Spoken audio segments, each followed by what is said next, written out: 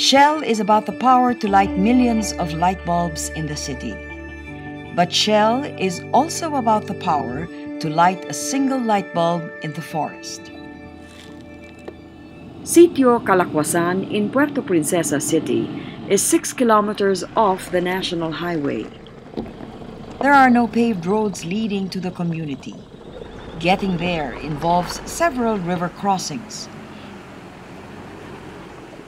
It is completely inaccessible to vehicles during the rainy season.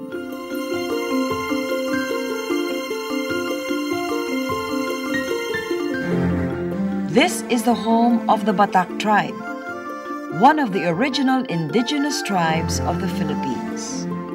Ang tribong Batak ay sila yung kapamilya ng sinasabing Negrito uh, ethnic groups ng Pilipinas na kinikilalang mas uh, nauna kontra sa mga Malay race dito sa Pilipinas. Life is simple here, almost unchanged for hundreds of years.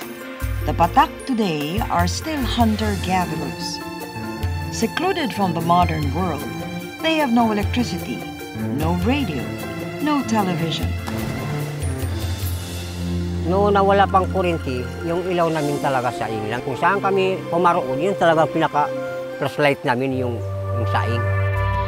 But years of subsistence living has stunted the growth of the community. And while the tribe's people have survived all these centuries, they recognize the need to move forward. This is where Shell comes in. Chief, nandito po kami para ipaliwanag yung nagiging plano dun po sa ating proyekto. Calakwasan is one of several pilot areas for Shell's Access to Energy project, a project aimed at small, off-grid communities that would benefit from energy to support their livelihood health, and education. Noon kasi wala talaga.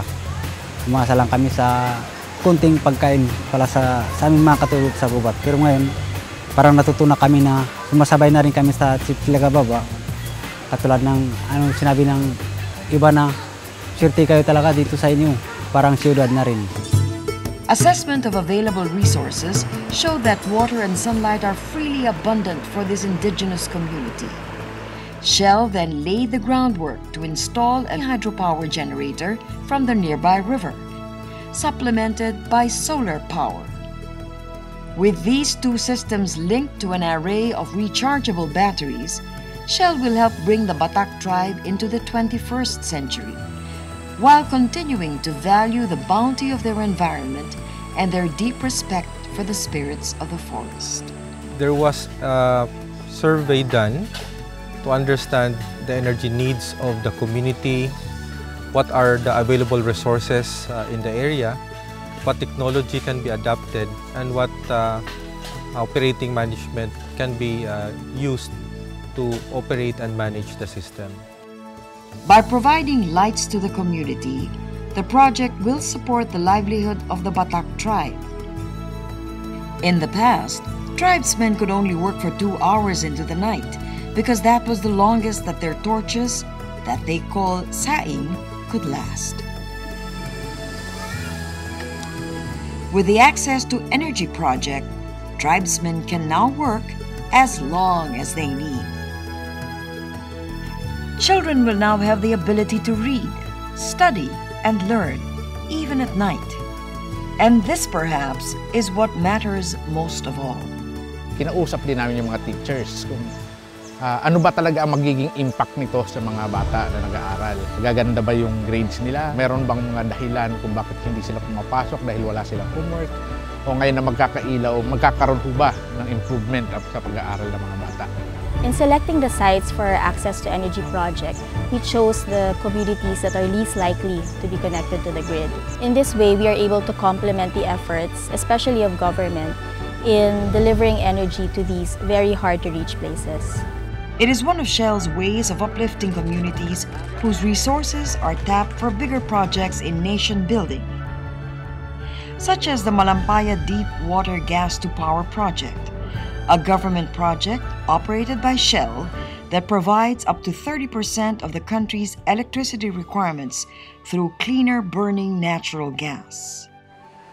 After all, Shell believes that social investments make good business sense, since gaining community support should always be the first step in any major undertaking. But true social investment is in empowering communities to take control of their future. Shell made the Access to Energy project a collaborative partnership with the participation and support of the Batak tribe and the National Commission on Indigenous Peoples, the lead agency of government that promotes and protects the rights and well-being of indigenous Filipinos. Lord, maraming pong salamat sa pinadala niyo, ginaan niyo yung tulay ang Foundation para makarating po ang inyong proyekto dito sa amin. Na liwanag ng bahay po, liwanag din po ng buhay. In the end, the Batak people will take charge of this project. They are already being trained by Shell on how to operate and maintain the hydro and solar hybrid system. And this is the gift that truly keeps on giving, long after the paint and the logos have worn off. Malampaya is not just about powering a country's cities and industries. It is also about empowering hard to reach communities where a simple light bulb can light the way to a brighter tomorrow.